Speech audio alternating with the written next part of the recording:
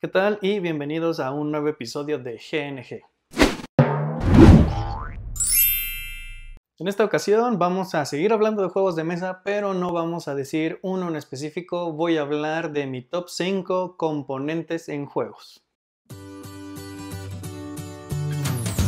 La razón por la que dije que no voy a hablar nada más de un solo juego es que voy a hablar de componentes que están presentes en varios juegos. Es decir, pequeños detallitos, cositas que cuando están en la mesa o sé que están presentes en un juego, la verdad todo luce un poquito mejor y hay veces que son hasta muy útiles. El número 5 es un componente meramente estético. Estoy hablando de monedas de metal. La verdad me gusta muchísimo cuando hay dinero en el juego que sea de metal. No sé qué tienen las monedas de plástico que simplemente no me gustan. Prefiero que sean de cartón si la única opción es de plástico.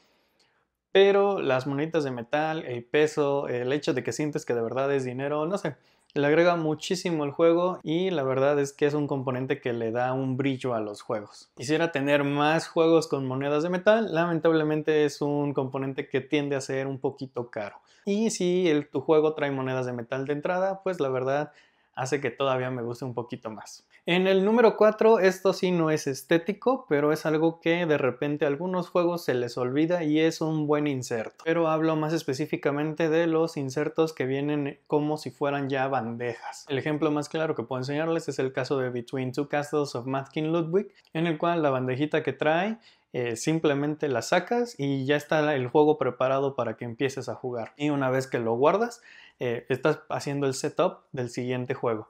Entonces es sumamente práctico y acelera una de las cosas que de repente pueden tardar en los juegos de mesa, que es la preparación de la mesa misma. Cuando son bandejas que ayudan al setup o que inclusive se vuelven parte del mismo juego, la verdad es que me llama muchísimo la atención y es algo que me gusta tener en mis juegos. El número 3 es cajas interesantes. ¿Qué me refiero con cajas interesantes? Bueno, eh, lo voy a dividir en dos. Las cajas ya sabemos que son partes esenciales de los juegos de mesa, es donde los vamos a estar guardando y me gusta la que las cajas sean únicas y que tengan su propia personalidad.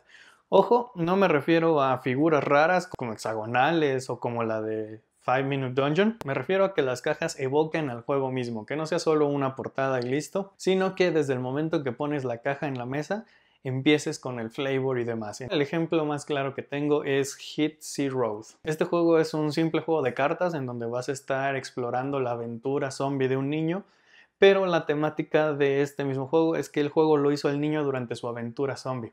Entonces las cartas y todo están dañadas, traen el dorsal de otros juegos de mesa incluso, como si el niño hubiera juntado lo que encontró durante el apocalipsis para hacer el juego. Y la caja no es la excepción. La cajita viene decorada como si fuera de otro juego de mesa. Viene esta tachoneada y demás. Viene con la apariencia de, que está maltratada. De que esa caja eh, pues acompañó al niño durante su aventura. Entonces, desde el momento en que lo pones y explicas lo que se va a jugar, la caja ya te empieza a meter en la temática del juego. Y la otra sección que voy a dedicar a las cajas es cuando la caja se vuelve un componente del juego. Normalmente las cajas simplemente eh, sacas del juego, y la caja la avientas a un lado, ¿no? Para que no quite espacio de la mesa y para que no esté estorbando por ahí. Y el ejemplo que les voy a mostrar es Dice Forge. En Dice Forge lo que vas a estar haciendo es tratar de juntar puntos mejorando tus propios dados. Es decir, puedes cambiar la carita de los dados, pero ese es todo un tema aparte. La verdad es que utilizan la caja para poner ahí la bandejita con las caras de dados que vas a estar usando. Entonces la caja no es que estorbe, sino que se vuelve un complemento del juego. Y la verdad se me hace muy interesante porque pues al fin y al cabo la caja va a estar con tu juego. Entonces ¿por qué mejor no aprovecharla? En mi número 2 es algo que sí es estético, pero la verdad es que también es muy funcional. Y estoy hablando de tableros con rebajo. ¿Qué quiere decir? De los tableritos que tienen los huequitos para que ahí vayan las piezas. Esto va desde tableros de jugador, como es el caso de Side, o, hasta el tablero mismo, como el caso de Smartphone Inc.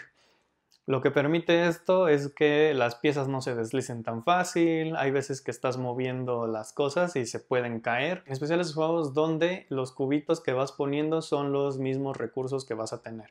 Entonces, si los mueves por accidente, de repente es medio complicado recordar cuántos tenías y demás. Y entonces, este tipo de tableros lo que evita es que se mueva y además se ve muy bien. Desde luego, este sistema no es perfecto, pero eh, va a ayudar muchísimo más que un tablerito donde todas las piezas se pueden deslizar. El número uno me debatí muchísimo. Quería poner dados personalizados porque la verdad me encantan los dados, pero hay veces que simplemente cambian el uno por un símbolo y, y, aunque se ve bien, no tiene tanto impacto como mi número uno que es meeples personalizados. No tengo nada en contra del meeple clásico como el que se utiliza en Carcassonne, pero lo hemos visto muchísimas y muchísimas veces y la verdad es que es un componente fácil de hacer y que al mismo tiempo puede aportar muchísima personalidad a tu juego. Lo vemos en el caso de Root, que Root tiene los meeples personalizados y la verdad brillan en la mesa.